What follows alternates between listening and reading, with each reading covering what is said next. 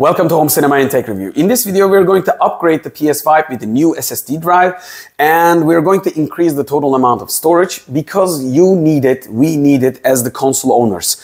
I'm going to come to the reason of it, but what we are going to upgrade with is XPG brand GAMMIX S70. These are supporting PS5 as you can see the logos on it.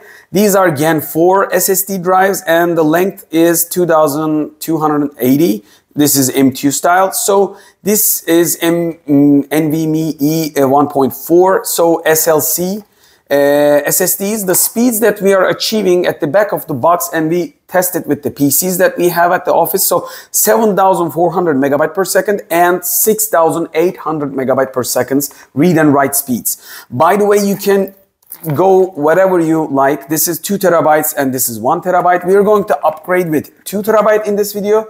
But if it's your budget, you can go with the one terabyte. It will be more than enough. Basically the standard PS5 compared to. So the reason that we need to upgrade the PS5 is obvious. The storage is very little. Let's go to the storage. And here we see the console storage is 667 gigabytes. So it's not even a one terabyte exactly. The probably total storage is about 850 gigabytes uh, and it's not a lot. When you decrease the operation system of the PS5, maybe even some backups and updates and stuff like caches, and we got left with 667. So it is only enough for three to four games up top when it's a big game issue like Call of Duty and Battlefield or Red Dead Redemption, kind of like open world games. So if you include a couple of racing, like one or two racing games and one or two big games, you're not going to have any storage at all. One more thing, one more reason to upgrade with these or any kind of high-end SSDs, I'm going to come to that part uh, very quickly, is if you decrease the amount of storage less than 10%, as you can see around here, free space is one gigabyte, it will slow down your console. What basically happens is it, it happens similar to the Xbox, similar to the uh, also any kind of console, smartphone, tablet, any kind of device. If it could be also your Android TV. If you go less than 10%, your caching mechanism doesn't work. You don't have a spare cache space on your hard drive and you're going to slow down your system, whatever the system is. So don't go less than 1%, uh, 10%. But in this case, the storage is too low and this device has only 1.86 gigabytes right now and we're going to solve this problem. The reason that we are using the uh, XPG GAMMIX S GAMMIX S70 Blade series, these have high speeds and PlayStation 5 looks for 5000 megabyte per second and above to use for PlayStation 5 games, new generation games. If you're going to play uh, PlayStation 4 games, you can install lower speed and cheaper M2 SSDs. But if you're going to use it with the next gen console, this is the way to go. So consider this before and uh, making the purchase of the SSD. You can check out the specs of these two at the bottom of this description. Like I will share the links so you can check the speeds. By the way, we tested with PCs. PC managed to have like 7,000 megabyte and 7,400, I remember. And uh, 6,800 megabyte per second read and write. So we reach the speeds uh, with the PCs, but I'm not go uh, going to be probably reaching uh, with the same speed with the PS5, but it's not the matter. So it's a console, you're not going to check out the speeds. What matters is it's going to play the games as the PS5 internal uh, SSD drives, and it's not going to make any problem on the long run. So it's easy procedure, don't worry, you don't have to be uh, rocket scientist or PC expert. We're going to do it in a couple of minutes. But before we do, you need to do one more thing. Uh, if you're watching this video and if you purchased your PS5 just brand new out of the box, and if you're going to increase the capacity, the one thing that you need to do, go to the system settings and system software update settings. And if you're, you have to con uh, connect to internet, but update using by the internet and check out the firmware. Right now we have the latest firmware. The reason that I'm telling you this is uh, the first time that PS5 announced, it doesn't have this firmware, the new firmware that we got right now.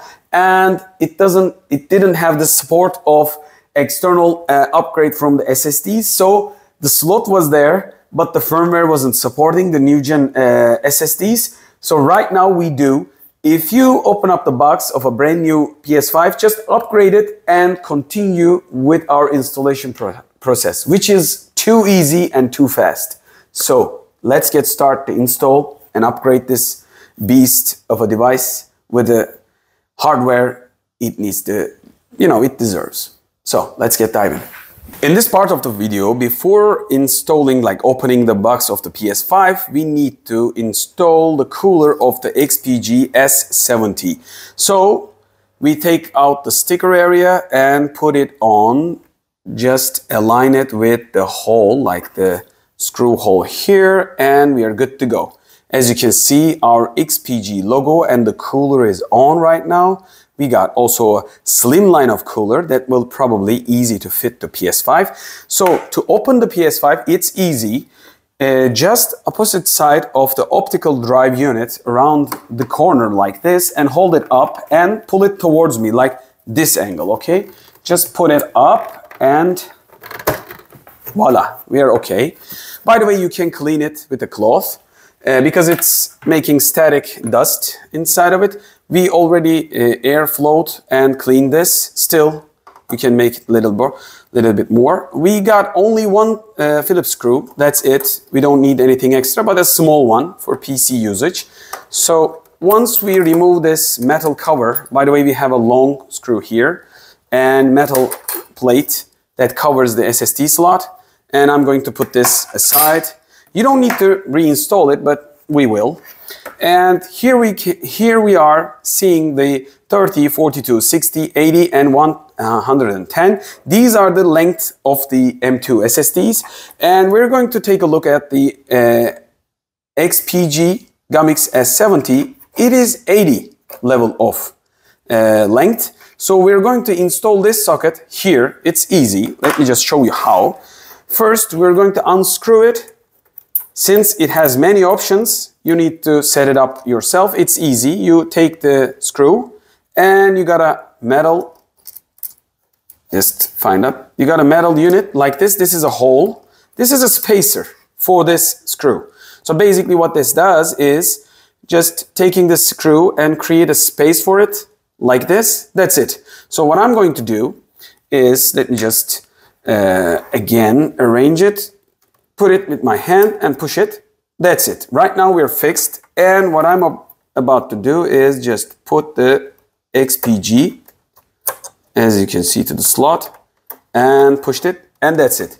The only thing that left for me to screw it in with the spacer that I've just adjusted and we're good to go. So what we are going to do is close the box.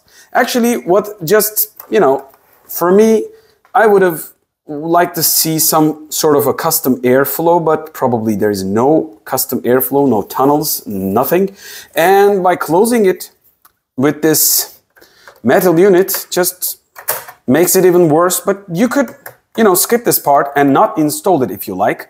Uh, some sort of an airflow could help maybe cooling of the SSDs. And if you want to test the, uh, you know, heat level of your SSD drive, but probably it's okay since the Sony probably made the tests.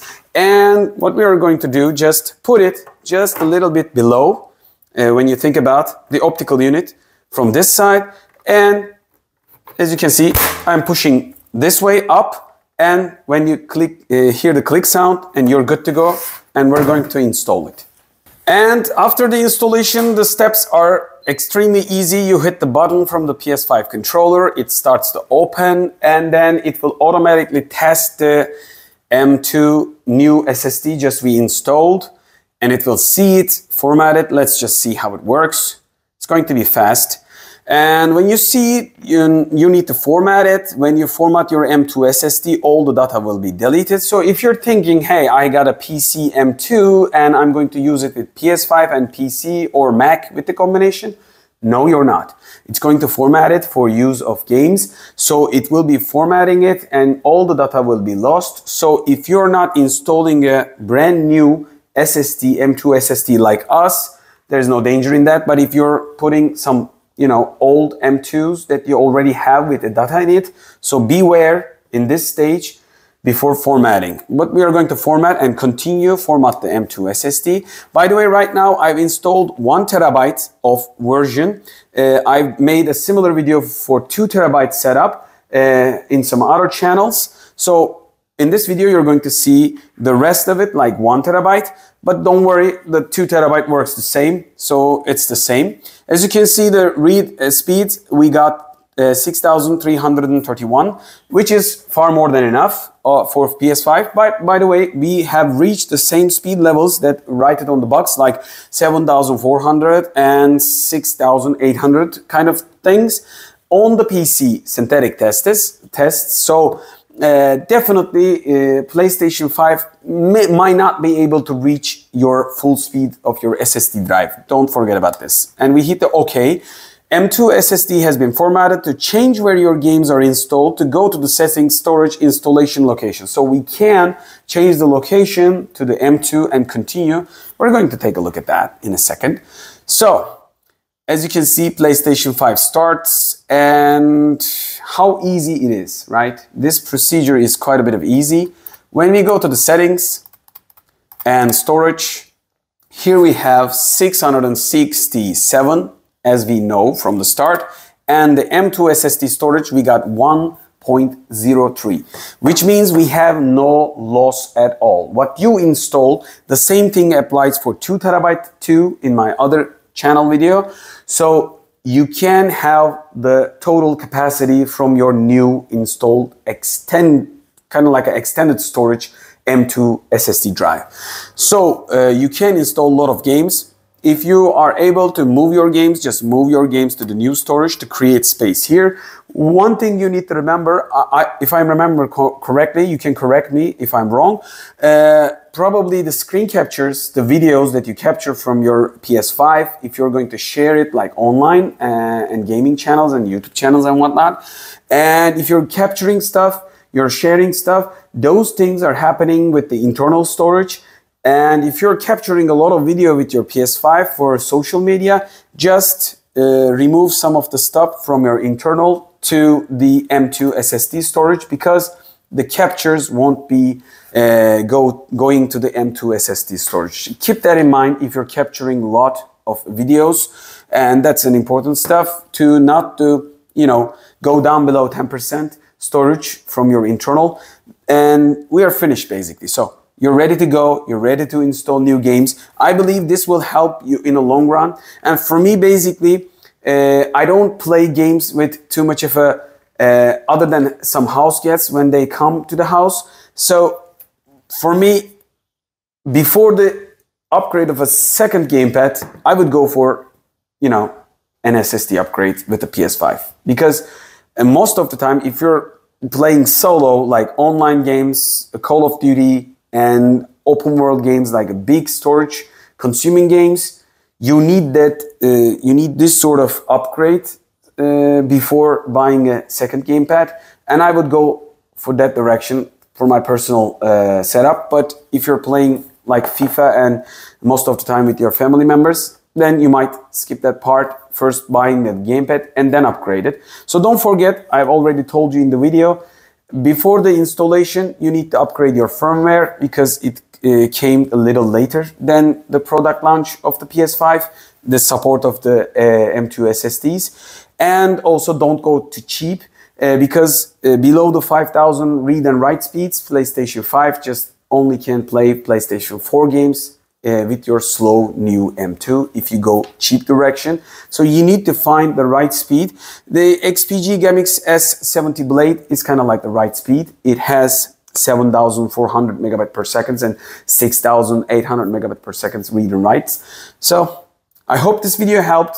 You saw how easy it was. We only needed the one Phillips screwdriver and that's it. Just a couple of minutes. I believe it took about two or three minutes in total. Maybe video is a little longer, but hope to see in the next video. Your thumbs up, likes, subscribe and support and comments are important. Let me know if you have any news like this setup changes or upgrade changes or any kind of changes in the PS5. You can inform people by writing a comment uh, section below. I hope to see you in the next video, Home Cinema and Tech Review. Bye.